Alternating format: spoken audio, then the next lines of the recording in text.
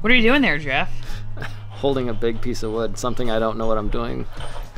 So what we're doing is because we've been avoiding this for quite some time now, but we got to separate the horses because Sassy's having hoof problems, and so they don't go crazy. We're creating stalls here in the barn for them. So this is partition one of two that we're putting up so that we can have those two separated from each other. And Jeff was kind enough to come out and help us out.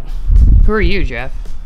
I am a friend, I'm a sponsor, uh, I'm a believer in what you guys do, both in this off grid ish and in your free speech endeavors. When you say sponsor, you don't mean AA. No, not AA. Well, Somebody who believes in what you're doing is willing to put my money where my mouth His is. His idea of alcohol sponsorship is to bring us not only that we have high altitude coffee and wine, now he brought us some high altitude beer. My brother lives in um, Pinedale, Wyoming, which is where that beer is from. And I have, I'm on my way back to Seattle after visiting uh, my mom and my brother uh, for the Thanksgiving holiday. Uh, I wanted to drop off this beer. You asked if I could uh, give you a hand with this little project, and I said, sure. Why not? I like helping. All right, so in order to build this masterpiece, this modern marvel of engineering that we're doing for these stalls, uh, total materials that I had to get was basically I got about a, a hundred lag screws. I got 15 two by six by 12s and two livestock 12 foot gates. Um, and that, that's pretty much it. And the tools I'm using is I got a circular saw, a couple saw horses, a level, squares, tape measure, drill bits. Total cost. Total cost we're looking at is probably close to six hundred dollars. All right. This is great coffee. Thanks for sharing. Go to twinenginecoffee.com What coffee, slash what coffee is that that you have there, Jeff? I think it's uh, Twin Engine Coffee. Twin Engine Coffee. Twin Where Engine can I get Twin Engine Coffee from? Uh, they have a website, twin, twinenginecoffee.com, and I think there's a a slash and a promo that you can Only use. we knew what that was. Maybe that could appear below. right here, Right here. right here. Hmm. It's good coffee though. It looks good. It, it's not just saying that. It's good coffee. I don't know if it's the coffee that looks good or the guy drinking it.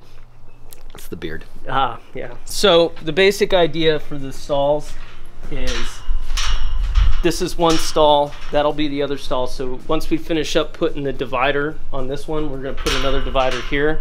And we set both gates up so that either A, they can be closed and they open from the same point, or B, you can have them like this and so it- you still have essentially two stalls, but it, it's it's left open and they're out of the way, so you can muck the stall and do whatever you need to do.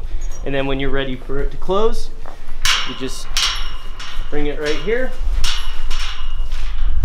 wrap your chain around, and it's closed. So to give you an idea of kind of what we were dealing with before, we didn't have anything like that, and it was open just like this. So it's hard to visualize right now because there's actually stuff here, but this was all wide open. And because Sassy's having her problems, we were putting her in the main part there, but it was uh, because they're pack animals. Uh, Megan was getting excited and upset about it, which was then in turn causing Sassy to get all excited, upset, which is not good for her when we're trying to get her to mend up. So by giving them a smaller stall, they can be next to each other without freaking out, but they're not going to be sitting there doing a whole bunch of running around and going crazy.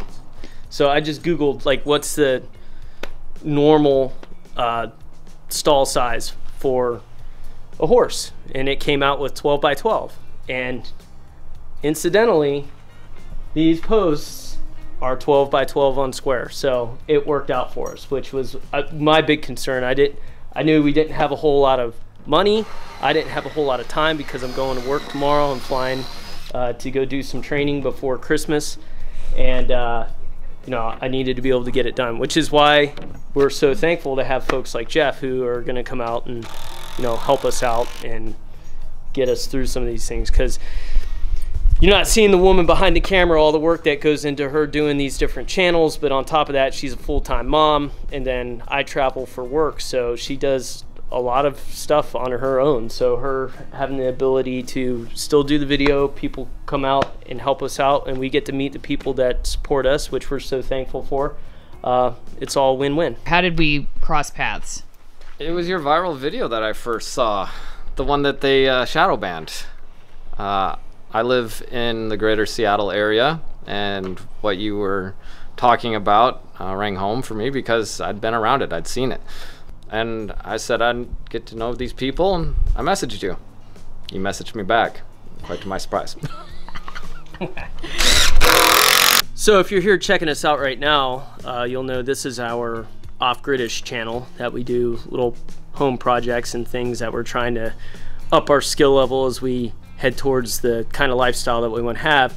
Uh, if you're not aware of it though, Ali has another channel that's where she does all of her media analysis, current events, topics, things like that. But she looks at it from the mindset of not so much as what's going on in the news, but how is the news actually covering the facts of the real topics? So it's kind of an interesting perspective. If you haven't seen it so far, you should go check it out and make sure you hit the like and subscribe button below.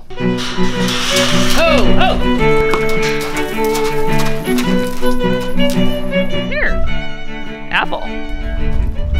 Oh. Come on, Maggie. Come on, Maggie.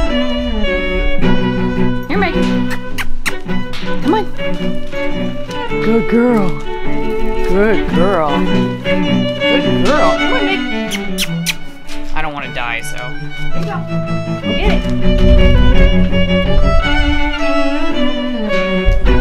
Oh, God.